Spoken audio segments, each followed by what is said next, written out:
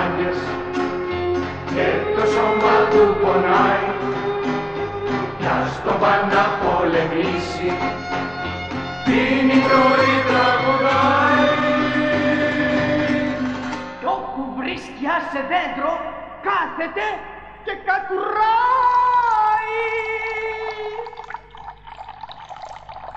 Σύγκριση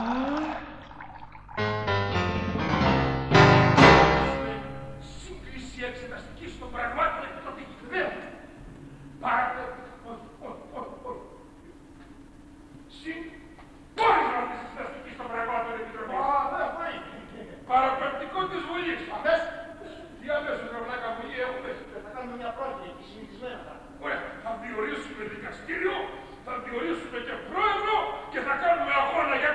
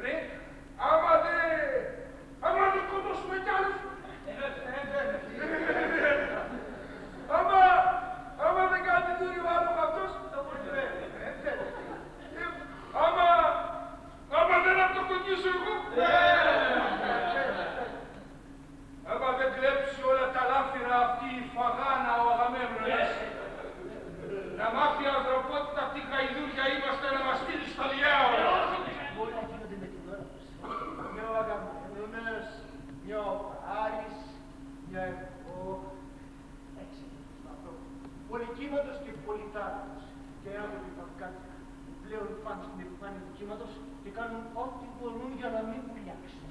Μου λες αλήθεια ότι με την ειρήνη θα σωθούμε; Ε, τώρα για να πω την αλήθεια, δεν μπορώ να σου εγγυηθώ τίποτα.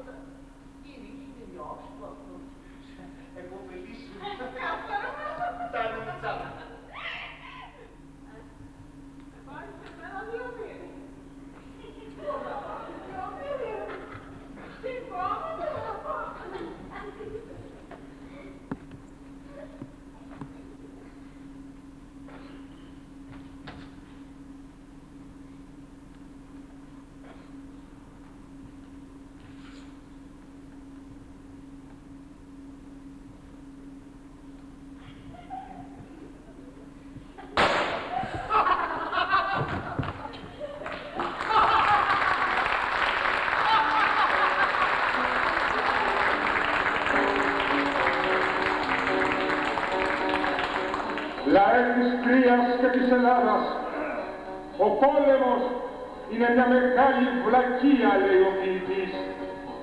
Το παν είναι η Ελένη.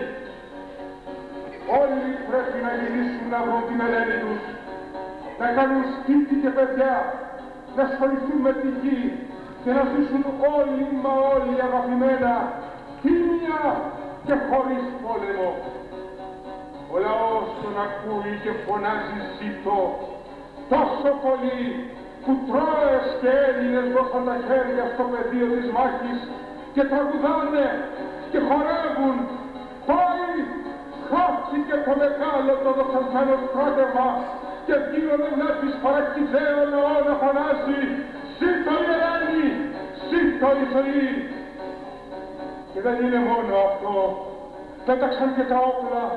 Ένα κύριο βουνός κυβαχτήκαν μαχαίρια και άρματα και τα άλογα του ηθικού γυρίζουν γύρω γύρω στο λιβάδι ελεύθερα και πίνουν κρύο νερό και τρώνε σαν τρελά από τη χαρά τους το πράσινο φωτάρι.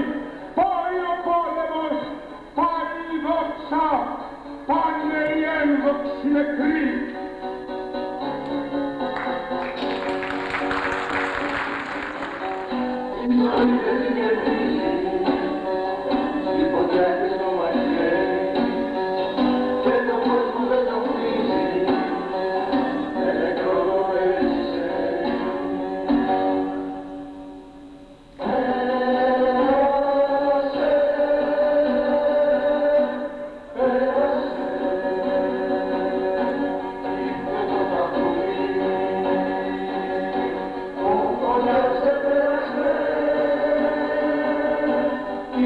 Amen.